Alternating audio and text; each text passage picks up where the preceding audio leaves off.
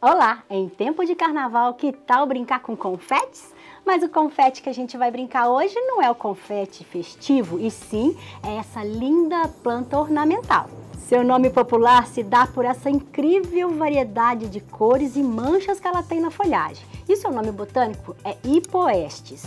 É uma planta muito interessante, herbácea, nativa de Madagascar e aprecia muito os climas tropicais e subtropicais.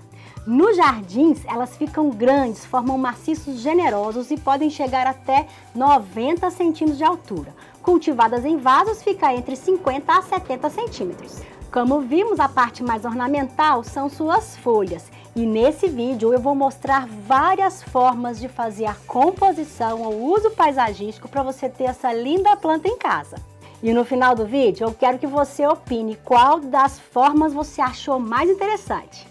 Agora vamos conhecer só mais um pouquinho sobre a planta. Ela é herbácea, longa, ramificada. E uma dica que eu já te dou, se você quer uma planta mais compacta, sempre é interessante fazer podas para ela estimular a ramificação.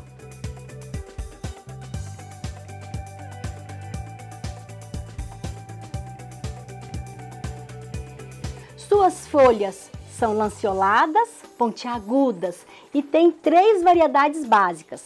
Essa da manchinha branca, pintinhas ou variegações muito interessantes que clareiam a composição. Como a gente também tem essas variegações rosadas, olha que lindas elas são.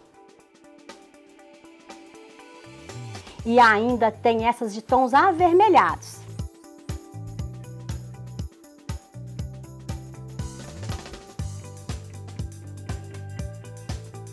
Já até fizemos um vídeo há um tempo atrás, onde eu comparei as hipoestes com as fitônias. E vamos deixar o card aqui para que você possa assistir caso queira. Nesse vídeo que a gente fez um tempo atrás, a gente fez uma bacia de fitônias. E uma das formas de você cultivar é em vasos tipo bacia. Porém, já que a hipoestes cresce mais, é interessante que seja um vaso generoso. E você pode fazer da mesma forma que a gente fez essa bacia. Olha que linda que ela está! Essa planta tem flores também, só que suas flores surgem ao longo dos ramos, às vezes em tons amarelados, levemente lilados, mas elas não são decorativas. Ah, e elas são só ornamentais, elas também não são comestíveis, ok? Bom, a gente conheceu um pouquinho sobre ela, vamos agora ver algumas formas que a gente pode cultivar. E uma das primeiras formas que eu trouxe é aproveitar o próprio caixote que a planta veio e criar uma decoração mais rústica. Fica linda decorando às vezes uma mesa ou um canto no jardim. Caso você queira, pode vir com musgo e colocar entre os vasos para tampar os vasos e a terra.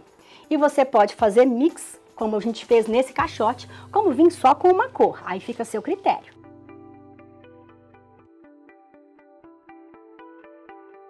Mas se você quiser fazer uma jardineirinha mais decorativa, olha que linda que ficou. Da mesma maneira, pode vir colocando a quantidade de mudas de acordo com o tamanho da sua jardineira encaixando os vasinhos usando como cachepô e colocando algum material como o próprio musgo para camuflar os vasinhos. Pode usar tanto uma composição variada, usando duas ou três tonalidades, como fazer também com uma cor só.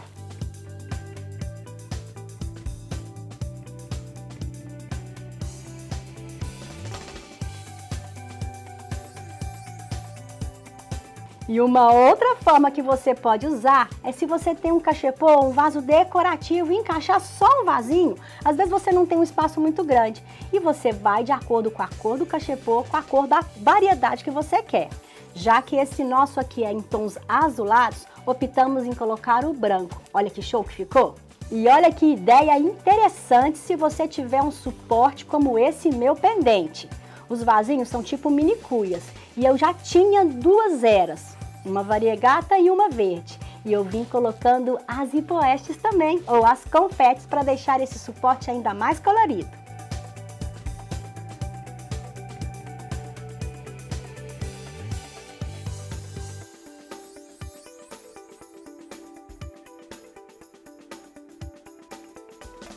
Mas como eu disse, as hipoestes ou confetes podem ser também cultivadas em canteiros, fazendo maciços de forração. Já que é uma planta mais generosa, a gente pode afastar as mudas a cada 20 centímetros, pois a tendência é elas crescerem bastante. E eu vou plantar como forração de vasos também. Eu tenho essa leia rubra E comparando as cores das minhas confetes, vou também optar pela variegação branca, pois ela vai valorizar e vai contrastar com a leia rubra que tem. Para plantar, como minha, como minha terra está bem baixa, vou dividir a touceira e é uma das formas que a gente faz a reprodução, afastando bem as mudas para que elas possam crescer à vontade. Completo com uma terra bem soltinha, bem estercada, pressiono levemente e a gente não deve esquecer de regar após o procedimento de plantio. Bom, agora que a gente já viu muitas formas de como cultivar essa linda planta, vou te dar mais algumas dicas de cultivo. Pega o caderno e anote. Ela é uma planta tropical, mas se adapta muito bem a climas subtropicais, só não vai tolerar geadas fortes. A luz ideal é a meia sombra, sabe aquele sol filtrado no início da manhã ou no finalzinho da tarde? Você pode cultivá-la tanto em jardins quanto em vasos, como a gente já viu. Mas observe as plantas que você tem para criar o maciço mais bonito, mais colorido, de acordo com a composição paisagística. A rega deve ser frequente, principalmente em climas quentes e se ela estiver recebendo um pouquinho de sol. A terra, como a gente viu no plantio do vaso, deve ser rica em matéria orgânica, bem soltinha. E a adubação, convém a gente colocar a cada três ou quatro meses um adubo equilibrado, um pouquinho de bocache, humus de minhoca ou NPK 10-10-10. Sobre a poda, a mais praticada é a poda de limpeza, mas a gente também pode fazer a poda de ramificação. A gente deve cortar as hastes para elas ramificar e criar a planta mais compacta. E sobre a reprodução, vocês me viram fazer a forma mais fácil, dividindo uma touceirinha. Mas você também pode aproveitar as estacas que a gente retira para ajudar a planta a ramificar e colocar em água para enraizar. E aí, gostou de conhecer mais sobre a hipomestes ou planta confete? Ficou com alguma dúvida? Me pergunte e deixe seu comentário citando qual composição você mais gostou.